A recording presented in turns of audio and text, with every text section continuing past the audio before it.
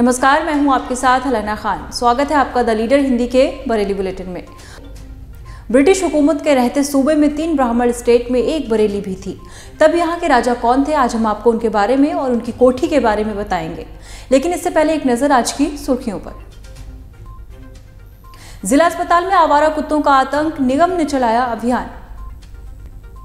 जिला अस्पताल में आवारा कुत्तों का आतंक है, इससे अस्पताल प्रशासन और मरीज़ भी परेशान होते हैं। मंगलवार को अस्पताल प्रशासन की मांग पर नगर निगम की टीम ने अस्पताल पहुंचकर कुत्तों को पकड़ने का अभियान चलाया, जहाँ से दर्जनों कुत्तों को पकड़कर बाहर छोड़ा गया है। सैदपुर नहर रोड पर बसाई जा रही अवैध कॉलोनियाँ बीडीए ने ढहाई। उमरिया उर्फ़ सैदपुर खजुरिया नहर रोड पर करीब इक्कीस हज़ार वर्ग मीटर ज़मीन पर बसाई जा रही पाँच अवैध कॉलोनीज को सोमवार को बरेली विकास प्राधिकरण की टीम ने ढहा दिया। इन कॉलोनियों का नक्शा पास नहीं कराया गया था। बीडीए उपाध्यक्ष जोगिंदर सिंह ने बताया कि खालिद और अन्य लोग अम्मार इनक्लेव नाम से चवालीस वर्ग मीटर ज़मीन पर अवैध कॉलोनी बसा रहे थे। यही किस्मत अली सैनिक कॉलोनी के नाम से 4200 वर्ग मीटर की ज़मीन पर निर्माण कार्य करा रहे थे। अजहरी कॉलोनी 4800 वर्ग मीटर ज़मीन पर निजामुद्दीन बसा रहे थे। इस्लामुद्दीन 4500 वर्ग मीटर पर कलीम नगर नाम से कॉलोनी बसा रहे थे। किसी भी कॉलोनी का नक्शा पास नहीं था, इन सभी को ढहा दिया गया। यहाँ से कुछ आगे 4000 वर्ग मीटर ज़मीन पर मोनिश साइट ऑफ़िस बनाकर विद्युत पोल लगाने और सड़क का निर्माण करा रहे थे। उसे भी ध्वस्त करा दिया गया है। इंडियन इंडस्ट्रीज़ एसोसिएशन आईआईए ने सूक्ष्म एवं लघु मध्यम उद्योग का उठाया मुद्दा। आईआईए ने पत्रकारों से बातचीत में कहा कि यूपी में आबादी के लिहाज से एमएसएमई की संख्या दूसरे राज्यों से काफ़ी कम है। राज्य में नवासी पॉइंट नौ नौ लाख एमएसएमई हैं, जिससे करोड़ों लोगों की रोजी रोटी चलती है।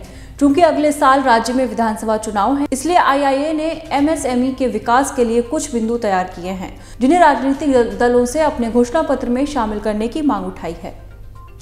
ये हमारा एमएसएमई जो सेक्टर है, उससे संबंधित जो हमारी कुछ परेशानियाँ हैं, वो हमने अपने इस एजेंडा में रखी हैं।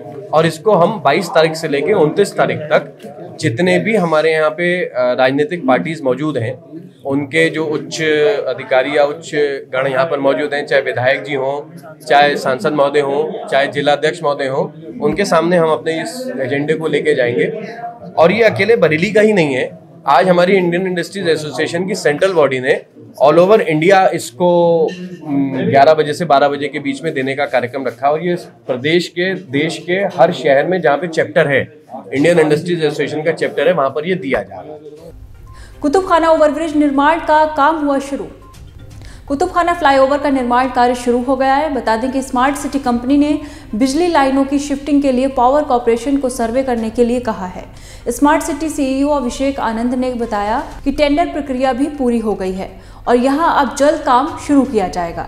इसके लिए संबंधित विभागों को ज़रूरी निर्देश दिए गए हैं। विभाग स्थानीय स्तर पर जाकर सर्वे करेगा और इसके बाद निर्माण कार्य शुरू हो जाएगा। एडीएम सिटी ने किया कोविड हॉस्पिटल का निरीक्षण, स्वास्थ्य अधिकारियों के छूटे पसीने। 300 बेड कोविड अस्पताल में कोरोना के सैंपल नष्ट करने के मामले में डीएम के निर्देश पर एडीएम सिटी डॉक्टर राम दुलारे पांडे ने अस्पताल का निरीक्षण किया। एडीएम ने स्वास्थ्य अधिकारियों के बयान दर्ज किए। उन्होंने डॉक्टरों से सख्ती से कहा कि आखिर किसके कहने पर कोरोना के तमाम सैंपल नष्ट कर दिए गए। सैंपलों की जाँच क्यों नहीं कराई गई और जो रिपोर्ट लोगों को दी गई वो किन सैंपल की थी? साथ ही जब कोरोना के सैंपल लिए गए, उस वक्त तैनात CMS doctor Pawan Kapahi, flu corner incharge doctor CP Singh और सीएमएस डॉक्टर सतीश चंद्रा के भी बयान दर्ज किए। बुधवार को इसकी जाँच जिलाधिकारी को उपलब्ध कराई गई। आइए अब बात करते हैं ब्राह्मण स्टेट और उसके राजा के बारे में। बरेली के ब्राह्मण स्टेट के राजा काली मोहननाथ मिश्र उर्फ़ कालीचरण मिश्र थे। उनका एक बड़े हिस्से पर राज्य था। फूलबाग में 60 बीघा से ज़्यादा क्षेत्रफल में फैली उनकी कोठी का उद्घाटन करने lieutenant governor sir James Scorgie Meston आए थे। ये इलाका छावनी राजा कालीचरण कहलाया, बाद में इसे किला छावनी कहा जाने लगा। किला क्रॉसिंग के इस पार से शुरू होकर मिनी बाईपास तक फूलबाग था। राजस्व रिकॉर्ड में इसका नाम स्वाले नगर जबकि नगर निगम में छावनी राजा कालीचरण दर्ज है। तिलक इंटर कॉलेज और किला पुल के लिए ज़मीन राजा साहब के खानदान के लोगों ने दी है।